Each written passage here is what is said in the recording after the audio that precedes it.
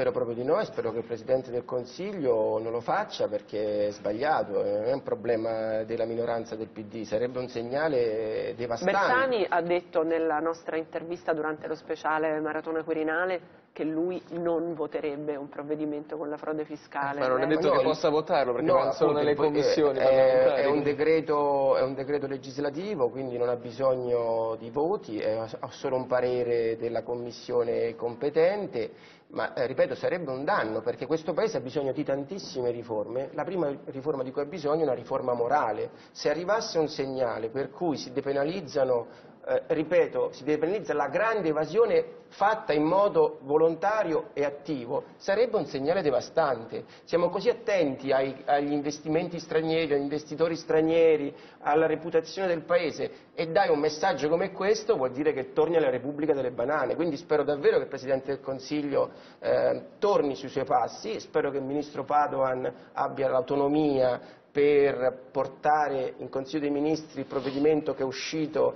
dalla Commissione che semplifica, che limita eh, lo spazio arbitrario dell'Agenzia delle Entrate per quanto riguarda, ehm, eh, per quanto riguarda la valutazione del- dell'abuso del diritto e, del- e della contabilità, dopodiché si, ehm,